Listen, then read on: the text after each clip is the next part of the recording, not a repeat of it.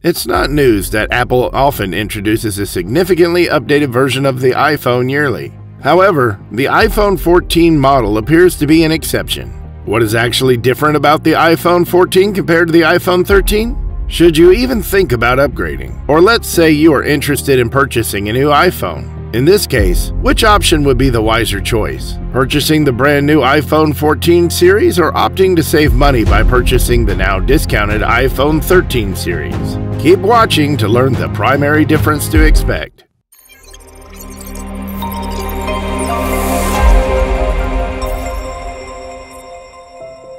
iPhone 13 versus iPhone 14. Note that Apple has discontinued the earlier iPhone 13 Pro model as it has done in the past few years, to prevent it from cannibalizing sales of the iPhone 14.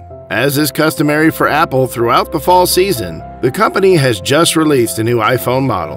The iPhone 14 and iPhone 14 Pro Max are the most recent flagship smartphones released by the company. Even though the Pro models are more likely to receive new features first, a yearly improvement is typically made to the versions that are not Pro. This time around, it appears that the standard models have not been subjected to that treatment. Apple's iPhone 13 product had two separate device sizes in 2021 a standard model and a mini version. Although the standard size still remains in 2022, the mini is replaced with a much larger device known as the Plus. The height of the iPhone 13 is 5.7 inches. Its width is 2.82 inches and its depth is 0.3 inches. The mini iPhone 13 measured 5.18 inches in height, 2.53 inches in width, and the same 0.30 inches in depth as its predecessor. The dimensions of the iPhone 14 are the same as those of the iPhone 13, except that it is 0.31 inches thicker. The iPhone 14 Plus is a substantially larger handset than the iPhone 14 and measures 6.33 inches by 3.07 inches while maintaining the same thickness of 0.31 inches. The Mini Plus adjustment is primarily the cause of the difference in weight, which is also different. The iPhone 13 and the iPhone 13 mini weighed 4.97 and 6.14 ounces respectively. The iPhone 14 weighs 6.07 ounces, while the iPhone 14 Plus weighs 7.16 ounces. The Plus model is heavier. The iPhone 14 has a design and build almost identical to the current iPhone 13 model. The screen size, which is 6.1 inches, has not changed, nor has the design of the phone's sides, which are flat. Additionally, the rear dual camera setup has not been altered. The metal frame of the iPhone 14 is sandwiched between two pieces of glass on the back and front of the device. As you may imagine, the screens are also different, which is to be expected given the size disparity. The display on the iPhone 13 is a Super Retina XDR and measures 6.1 inches, while the display on the iPhone mini measures 5.4 inches. These OLED panels feature a potential contrast ratio of 2 million to 1, support for high dynamic range HDR, and a maximum brightness of 800 nits for normal content and 1200 nits for HDR content, respectively. In addition, True Tone, compatibility for wide color P3 and haptic touch are included in the 2021 models. Regarding picture quality, the resolution of an iPhone 13 is 2532 by 1170 pixels, and the pixel density is 460 pixels per inch. The iPhone mini has a little less resolution than the iPhone at 2340 by 1080 pixels, yet it still has a higher pixel density than the iPhone at 476 pixels per inch. Both the resolution and the pixel density are identical on the iPhone 14. Once more, the Plus goes big with a resolution of 2778 by 1284 pixels. The pixel density decreases to 458 ppi, but considering the extremely high levels we are working with here, this change is slight.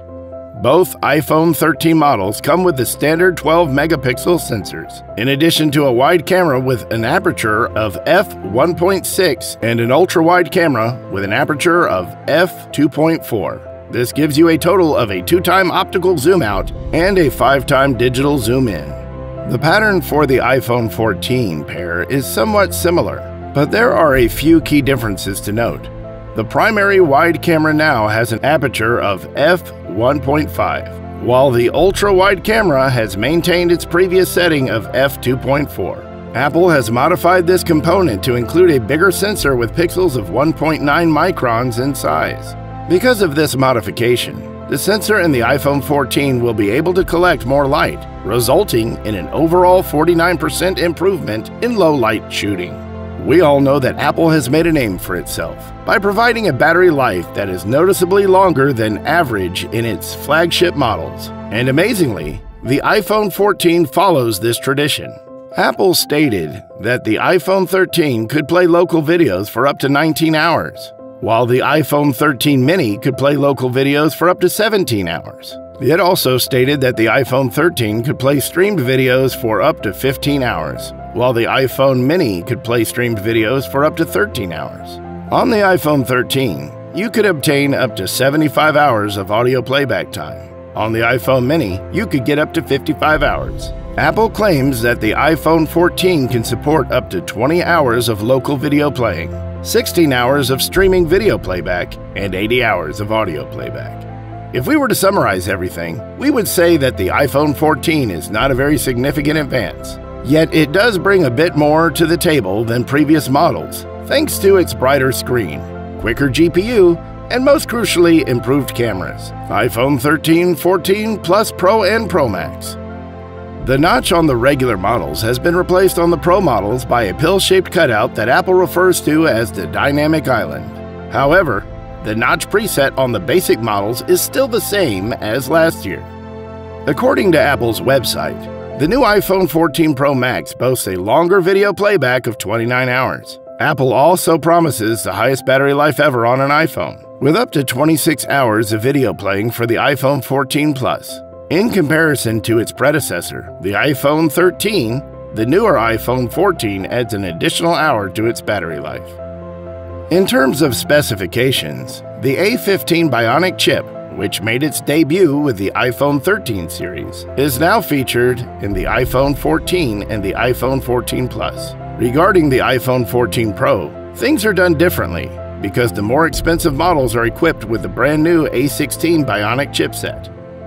The brand new A16 Bionic contains a 5-core graphics processing unit GPU, a neural engine with 16 cores, 2 high-performance cores, 4 efficiency cores, and 2 efficiency cores. Because it is configured this way, it can carry out as many as 17 trillion operations per second. The iPhone 14 has 4 gigabytes of random access memory, RAM, whereas the Pro Max variants have 6 gigabytes of RAM. The iPhone 14 and iPhone 14 Pro Max come standard with a storage capacity of 128 gigabytes. The new A16 chip is responsible for Dynamic Island's fluid animations and powers Apple's upgraded camera system. In order to optimize the amount of light captured, the sensor will, for the most part, snap images with a resolution of 12 megapixels. This allows Apple to crop the sensor in various ways, enabling the company to produce a real two-time zoom at a focal length of 48 millimeters. This should result in some amazing photographs, and Apple's ProRAW format will benefit from the new sensor's ability to maximize details. In addition, the new ultra-wide camera boasts an enhanced macro photography mode and a low light performance that is improved by a factor of 3.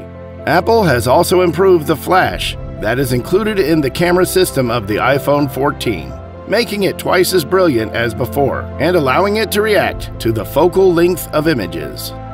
The main camera on the iPhone 14 Pro and 14 Pro Max has been upgraded to a brand new quad pixel sensor with 48 megapixels. This sensor utilizes pixel binning, combining four individual pixels into a larger pixel. The resulting image resolution is approximately 12 megapixels, and each pixel measures 2.44 micrometers. According to Apple, the new camera with 48 megapixels is 65% larger than the one found in the iPhone 13 Pro from the previous year.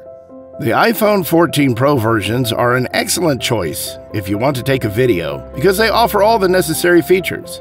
The cinematic mode now supports both 4K resolution at 30 frames per second and 4K resolution at 24 frames per second. With all considered, worthwhile changes are found in the Pro models of the iPhone. While the iPhone 14 models offer a more refined and iterative experience in comparison to the previous year's models. Therefore, unless you absolutely need the longer battery life that the iPhone 14 Plus provides, the iPhone 13 is still an excellent deal, and it is even more so now that the price tag has been reduced. That will be all for today's video. Thanks for staying tuned. Please don't forget to hit the subscribe button and notification bell so that you can always get to watch more amazing videos like this. See you in the next video. Bye!